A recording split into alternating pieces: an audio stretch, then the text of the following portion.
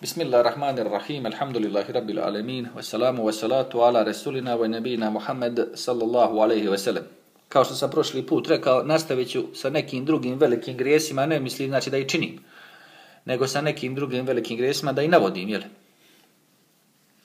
Bazirano na tim klasičnim knjigama što su sabrali, znači učenjaci velike grijeha iz Kur'ana i Sunneta, pa onda, jel, nabrajani tako, ne bili se i lakše naučili i ne bili se to spriječilo i ne bili ljudi bili podučeni i znali šta je šta i tako dalje. Inače, tako što se govori jezički, kontekst se gleda. Šta znači to kad čovjek kaže nastavit ću sa velikim grijesima? Šta da ih činim ili ću nastaviti da pričam o njima, da govorim u ciklusu predavanja? Znamo, znači, takav primjer iz Kur'ana. Ista se riječ koristi Allah je zabranio, pa se spominje šta se ne smije jest. A u drugom ajte spominje Allah je zabranio, pa se spominju osobe koje čovjek ne može da oženi. Znači muško ne može da oženi te žene, a i same žene ne mogu da budu udate za take ljude. Znači, pošto je u muškoj formi, znači, što se tiče roda objavljen Kur'an, onda ide tako pa to se da primijetiti. Zato kad se spominju ovi koji vjerujete, znači ovi vjernici, odnosi se i na vjernike i na vjernice. Jer onda bi trebalo spomenuti posebno i žene. Pa na to skrećem pažnju da ne mora tako da bude. A što se tiče, znači tu je bitan kontekst. Kad se spominje hrana, Allah je zabranio, pa se spominje hrana, to je za, za jelo. A kad se spominje ove žene, nije tu zabran da se ne smiju jest. Ima posebno zabrana kanibalizma, svakako. Ali ovdje se ista riječ koristi za zabranu ženitbe. To je znači kontekst priče. I to ono što sam ja isto bio rekao, nastavit ću sad sa velikim grijesima. Znači, nastavit ću da, na, da govorim o njima, a ne želim da reklamiram, da govorim sad ću ja to da činim, gledajte me. Ili slušajte me, pa je to jasno. Jer... Dalje, što se tiče jedenja zabranjenog isticanja toga na bilo koji način, Znači, to su uopšteno zabrane. Od Muad ibn Džebela, radijallahu anhu, da je Muhammed sallallahu alaihi sallam rekao, neće se čovjek na sudnjem dan ni pomaknuti sa mjesta, a već će biti upitan za četiri stvari. Za svoj život u šta ga je potrošio, za svoju mladost u čemu je proveo, za svoj metak na koji način ga je zaradio i u šta ga je potrošio. I svoje znanje šta je s njim uradio. Znači, hadis bilježi Tirmidhi i Taberani. Ovdje nekad kažu da su četiri stvari, nekad kažu da su pet stvari. Zato što je ovo što se tiče i metka na koji ga je način zaradio jedna stvar i u što ga je potrošio, to je druga stvar. Pa su to bile dvije stvari, pa onda znanje bi bila treća i ove na početku, jer život u što je potrošio, znači vrijeme, četvrta i mladost peta. Znači mladost nije samo kao život, kao vrijeme, nego mladost znači kao snaga. Pa znači uopšte dužina života znači vrijeme, pa onda mladost, odnosno snaga, pa onda i metak, kako ga je zaradio i u šta ga je potrošio, to su dvije stvari. I onda znanje, šta je sa tim radio. Znači, četiri ili pet nekad stvari. Od Ibn Abasa, da je što se tiče ajta, ne jedite imovinu jedan drugoga na nepošten način. Vola te'kulu amwalakum bejnekum bil batil. Iz sura al-Baqara, 188. ajta. Rekao je, to znači da nije dozvoljeno prisvajati tuđi meta krivo se zaklenjući. Neko će reći, pa to znamo, to je jednostavno. Pa upravo u tome je poenta, u tome je značenje, da se sprihvati, da se povjeri onako kao što stoji. Da se sjeti, šta će drugo ljudi raditi? Hoće neka tajna tamo tomačenja, što to je glavna stvar. Znači da ne smiješ prisvajati tuđi metak krivo se zaklinjući. Ne smiješ i bez zaklete prisvajati tuđi metak. Kaže dalje, jedenje nepošteno zarađene imovine može biti na dva načina. Prvi je činjeći nasilje kao što je otimanje, prevara ili krađa, a drugi je u haram igri kao kocka, lutrija i tome slične hazardne igre. Znači, ili na silu ili na prevaru da uzmeš to. Nije bitno sa što su ovi prevaranti hoće da kockaju. Pa su izgubili oni bez prevare. Sama kocka po sebi je prevara. Iako ti kockari nisu varali jedan drugoga, na primjer. Ima i to. Ima više tih podvrsta.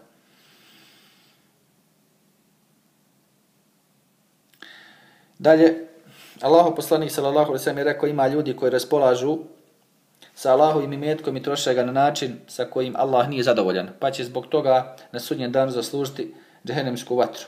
Hadis je bilježio Buharija. Znači mnogim bogatašima i nevjernicima Allah subhanahu wa ta'ala da milijarde u nekoj dobro jakoj tamo valuti, ne bili počinili loša dijela pa da budu kažnjeni s pravom i s pravdom, znači da neće im nepravda biti učinjena. Prema tome, znamo po hadisu da ovaj dunjalog ima vrijednosti koliko krilo komarca ne bi Allah subhanahu wa ta'ala dao nevjerniku ni kap vode. Također što se tiče onoga što je rekao Muhammed sallallahu alaihi sallam, i ovaj sam hadis prije spominjao, a to je čovjek će zbog dugoga putovanja biti neuredan prašnjav i takav će dići ruke prema nebesima i moliti o gospodaru, o gospodaru, a njegova hrana i piće, njegov jedeća, njegova su haram. To jeste stečeni su na nedozvoljen način i odhranjen je taj čovjek od malena još i sa haramom. Pa kako da mu se dova prima? Kako da mu dova prima? Neće mu se nikako ni primiti, ovaj hadis zabilježi ima muslim. On jedino nije kriv dok je bio mlad, dok je bio mal, pa nije ni znao, niti je mogo od sebe da, da otkloni to što su ga roditelji pitali nečim zabranjenim ili rodbina što mu je davala i tako nešto što nije haram, što nije halal, nego je haram. Pa je od toga jeo i pio. On zato nije kriv. Inače, meso koje je odraslo na haramu, tijelo, znači ljudsko isto, najpreče je vatr. Tako se spominje u hadisu. Sljedeći hadis od Denesa radijallahu anhu da je rekao Muhammedu sallallahu alaihi ve sellem poslaniće traži od Allaha da budemo od onih čija se dova prima. Poslanik sallallahu alaihi ve sellem mu reče o Enese zarađuj na pošten i halal način, bit će ti dova primljena. Jer zaista čovjek kada pojede jedan haram zalogaj, dova mu se ne prima 40 dana. Hadis je zabilježio taberani. Normalno, ako te neko prevari, ako odeš kod mesara ovih muslimana pa ti kaže to je halal, ti kupiš, ono tamo ubijeno upucano. Zato ne moraš ljudima ni vjerovati. Nije dovoljno samo da kažeš ko što je bilo, dovoljno to u vremenu Muhammeda sallallahu alejhi ve sellem zato što niko nije udarao maljem u životinju, niti je bilo struje pa da, da u, tako ubiju životinju, niti su je davili u vodi. Pa su propisi jasni bili, tako se kolje, ko što inače kolje, samo sad si musliman i kažeš bismillah. To je glavno.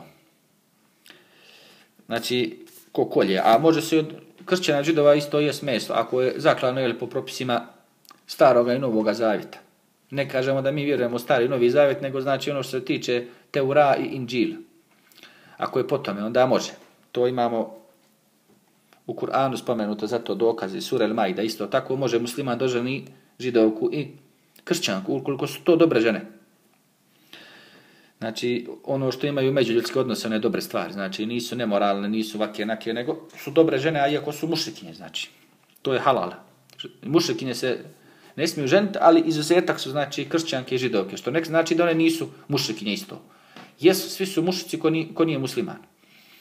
Ali to sam objasnio prije na drugom mjestu, jel, kako je to izuzetak, pa se ne kaže ne ženite mušikinje, pa onda ženite mušikinje, nego ne zadržavajte znači u braku mušikinje, a možete isto ženiti dobre žene od židova i od kršćana, od ehlu kitabija drugim riječima.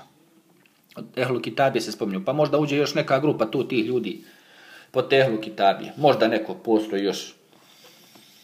Onda ne znamo mi ni koje su to židovske kršćanske sekte, niti mi to trebamo da znamo. Nego ono oni što kažu da su židovi kršćani, to osnov, pa su onda dobre žene i to je to. Nema, ne trebamo sad mi testove njima postaviti, evo ti ovdje ispit, položi ispit staroga i novog zavjeta da vidimo vjeruješ ti ispravno. To, to normalno se ne radi, niti niti je nas to briga. Vidimo znači kako se ne prima dova onome normalno ko ovo namjerno čini, a onaj koji ne zna, a ne može se čovjek na neznanje pravdat da ne pita, pita samo je li ovo halal. On ti kažu jeste, onda vidiš neke sumnjive stvari, vidiš neke prodaju kobasice, na primjer, sa emulgatorima, ti mesar i onda pitaš šta je ovo. Ne, nego pitaš, ti prodaješ ove emulgatore, znaš da je ovo haram. Ako on kaže da, da, znam, ali ima mišljenje u leme, normalno da nešto onda ni meso kod njega kup, da ćete slagat. Ali ima onih koji su iskreni, koji kažu jeste, to je, tako ja imam fetvu da ja mogu dobijam sa strujom ovo, ono, ali imam nešto sam ja zaklao, hoćeš ti ovo kupi, tako i tako. E, od, tako se može uzeti. O taki se može uzeti ljudi. I uopšte ne trebaš ulaziti s njima diskutovati zašto ovo, brate, pa ne možeš tako, nije te briga ništa. Ti uzmeš od njega što je halal i nosiš kući jedeš. Jer nije on kafir zato što slijedi neke zabludile fetve tamo. Niti uopšte ne, nemaš ti vremena da objašnjavaš, niti će on to prihvatiti, niti će on to, ne, ništa ti se ne pretvaraš, ništa, niti pokušaš da, da mu objasniš, on to znaju, nemoj misli da taj mesar da on ne zna da ako je, ako je interes islam da to nije provjerio, nego hoće, voli lovu, voli pare. I onda kaže, ubiću ja i sa strujom, ma malo će ja ušao mut, neće biti mrtva potpuno, malo ću ja s vodom davit, pusti sad to, to sve neke druge stvari koliko oni hoće, koliko hoće čovjek da prihvati vjeru, nek prihvati. Mi nismo tu poslani da budemo njihovi tutori, da mi njima solimo pamet. Nego oni mnogo više ljudi znaju nego što se pretvaraju po potrebi da ne znaju. Kome treba, ako hoće da sazna o tim mesara, sve su tamo šejhove zvali, kad kažeš pa kako možeš prodavati to što je ošamućeno prvo ili, ili upucano u glavu onim ekserom, pa onda zakla, kao evo ti fetva, odmah telefon vadi, evo ti kaže fetva, evo šejha, tu evo ti nazovi ga na telefon, ja sam ga pitao, meni rekao da može. Prema tome znaju oni. Pusta što su našli te pokvarnjake da im daju fetve. Normalno ostvore to neko islamsko zabavište ili islamsku takozvanu školu i to sad ovo. Aj pusa što se, jeli, mora muzika predavati ovo, nađu nekoga tamo kafir da predaje školu, čas muzike, ovo ono, šta, ne moraš da uči imaš školu, ne daju ti. Pa nije problem to, ne suprostljamo se mi tome, što je, što je pod nuždom nuždom. Nije to problem. Nego je problem kad oni za školu neće da nabave taj halal. Jer kako će onda ovim ljudima reći? Piše ovdje halal na, na ovim kokama, na, na mesu, na svemu, na paketima, a nije halal. To je dala ova neislamska zajednica, tamo oni pokvarnjaci, hođusije, međusije i tako dalje. Neće niko prihvatiti, jer svi ovi s bradom i ove s nikabom, 99,99% ,99 Allah najbolje zna i više jedu to. Prema tome, nema tu, ne možeš ti s tim ljudima diskutovati, niti njih nešto podučiti, nego jednostavno prihvatiš da su takvi, da su slabi, da su pokvareni i ne možeš se s njima družiti nikako. Na šta, na šta će te pozvati? Na šta te god pozove? Evo, u mlijeko meću D vitamin. Nazoveš tamo firmu, pitaš šta je, od čega je D vitamin, on ti kaže, od životinje. Od čega će drugo biti? I to od životinje koja bi treba da bude zaklana, zaklana halal. Od koza, od ovaca. A u nekih slučajima i od krmeta uzmu. Ili uzmu od životinje, znači, koja je u osnovi haram kao svinja, ili uzmu od životinje koja je halal, ali nije halal zaklan, da ne možeš uzimati. I onda ne možeš to mlijeko pit, gdje su metli D vitamin. Ako je to, ako uzmu D vitamin od neke ribe ili nešto, nije problem. Ali je problem kad ne urade to. I sad ti dobijaš ništa, neće bar niko da ti vjeruje. Ljudi su miskini, garibi danas. Danas i, i ko klanja i posti, samo drži se islama, ne čini kufr širke garibe. A pogotovo vi sad crtneš ove s nikabom, s bradom, ne mislim ja da sjedim da pijem kafu sa ovim nikabušama, ni svojim s bradom i to, nego usput sve kad vidiš tako ti kupuje jede, pa ne mogu čoveče halal da jedu samo. Samo ne može da kaj neću ja, imaš ti nešto mesaru, što nije upucano i tako dalje. Ne može to, ne mogu. I onda teret oni uvjeri osjećaju. Sve im je dopušteno, sve čine. Imaju kuće, stanove, sve su na kamatu kupili. Uživaju sve, ali osjećaju neku fitnu, osjećaju problem. Ga neko pogleda popreko teško njemu teško njoj, znaš. A ništa, maltene, ne moraju se brinuti. Sve su do, skoro dozvolili. Ajde, može i kamata, a može i ovo, može i ono. Pa eto sad, šta ćeš? U šamponu ima krmetine, a ima u sapunu, jeli, ono, a mast je normalno, mast skida mast, to znamo iz hemije. Šta ćeš ima u, u onim šamponima, sapunima? A jes, pa eto imaju hljebu tamo, oni emulgatori. Pa eto u mlijeku taj D vitamin su metli od svinje ili od tamo životinja što nisu halal zaklane. A šta ćeš eto? I onda samo tako. I prvo neki će od njih će se možda pravi da sljedeći put kad vide napaćete.